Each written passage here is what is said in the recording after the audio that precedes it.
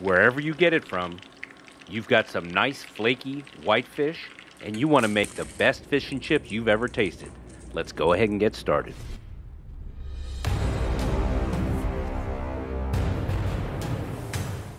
Watch till the end of the video and you can see where we caught these black sea bass off the coast of Virginia. But you may have your own fillets that you want to use.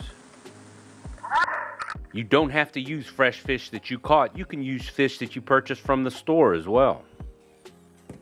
We'll also start out with a juicy tip here. Put a wet towel underneath your cutting board and instead of struggling with your board sliding all over the table, it'll stick right to the counter. Another juicy tip here, soak your fries in water. This fry cutter is a fantastic tool and we'll put links to the equipment and tools that we use down in the description of the video. But soak your fries for at least one hour in water and you'll find that you'll get a crispier product on the other end.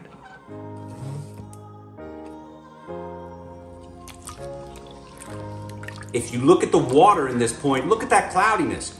That is the starch leaving the potatoes. That helps with the crispiness.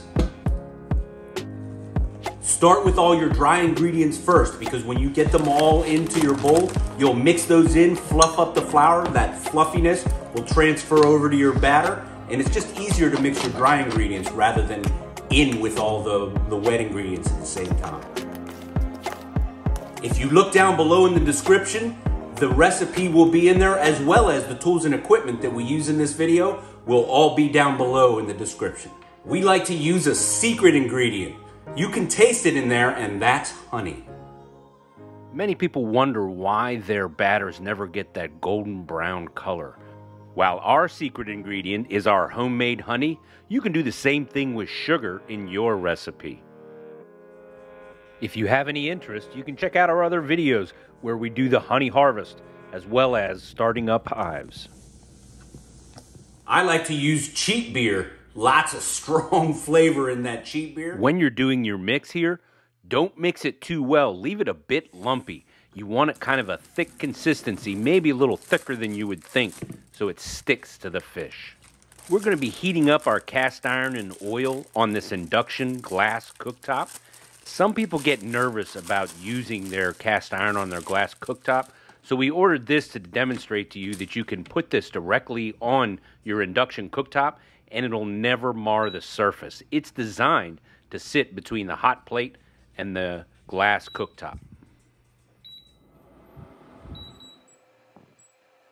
You'll want to set that temperature somewhere around 380 degrees. I wish this would run just a little hotter on a setting, but it's good enough. And if you take a look at these fries, you'll see them starting to curl up. They're taking on that moisture. I told you that's the critical step to getting good crispy fries. After those fries have soaked, you're going to want to get them good and dry. You don't want your oil bubbling over. So sometimes I even take a paper towel to them to get some of that moisture off. And if you wanted to be a true traditionalist and get the ultimate crispy fries, you'd boil them first, then dry them off and put them in the fridge before you fry them. Test your oil, put a little bit of a dollop of batter in, see how it cooks up, and if you like the speed that it cooks and the goldness that you achieve. It's very important when you're frying fish that you get that fish as dry as you possibly can. Almost press the moisture out of it. You'll get a crispier and better cook out of it. Do a little bit of dusting across your fillets. It helps the batter stick and pulls more of that moisture out. Now let's get down to business.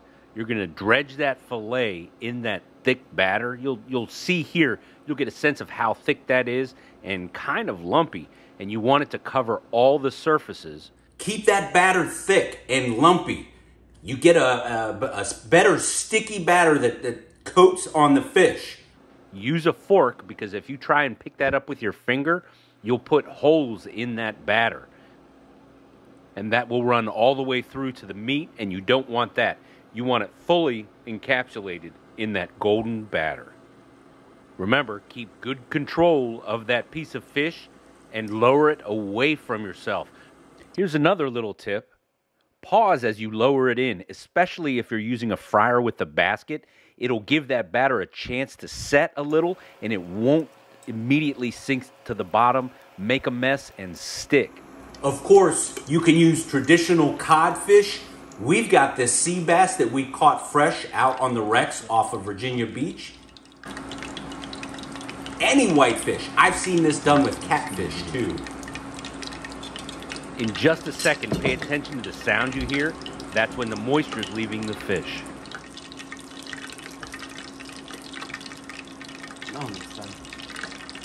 When you hear that change in the sound, that's telling you that it's just about done. Wake up, today's gonna be a good day. Wake up, today's gonna be a good day. Wake up, today's gonna be a good day. Wake up, today's gonna be a good day. Wake up, today's gonna be a good day. Wake up, today's gonna be a good day. Wake up, today's gonna be a good day. Sprinkle your taste of kosher coarse salt on your fries. Don't forget to watch until the end, where you can see where we caught this sea bass, as well as a first underwater look at the base of the windmills off of Virginia Beach. They're starting to hold fish. And it's not just the fish. It's the fries too. Or chips if you prefer. Mmm.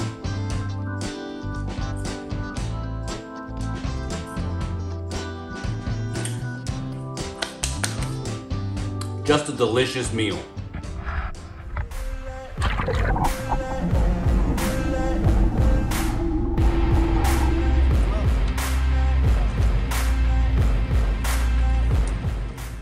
Lot of people don't realize how close you get to the other boats when you're all sitting on the wreck.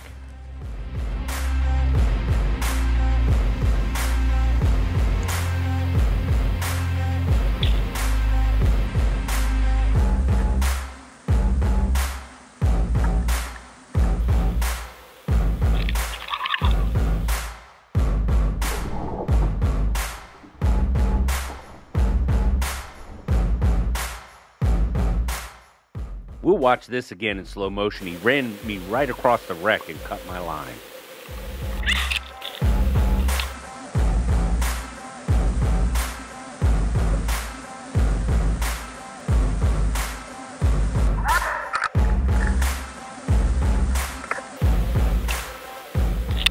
So this is kind of new for the fishery off the shore of Virginia Beach, and that's the windmills.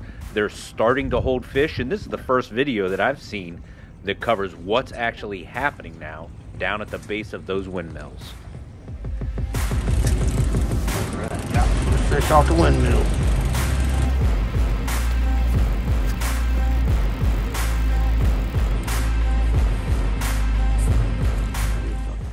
When we look at the sonar, you can see some pretty decent marks right up off the bottom. That, that green haze above is the fish holding the structure. This is some underwater footage of the windmills and the rocks right at the base.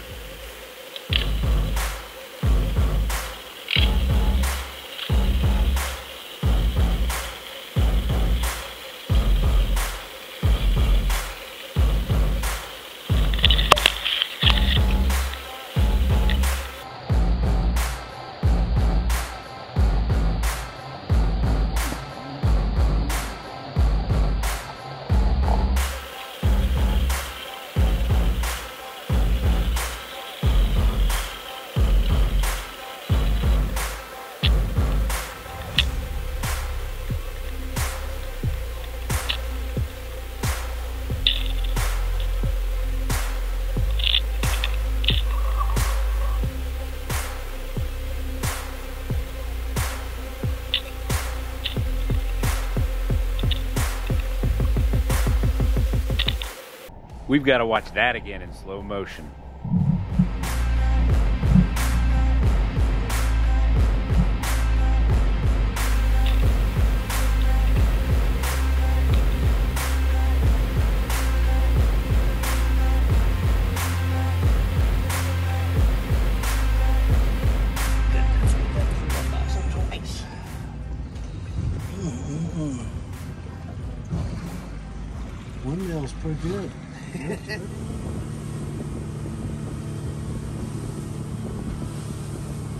So YouTube says that this video is perfect for your viewing habits. This is my latest upload, and over here is a playlist you might just enjoy.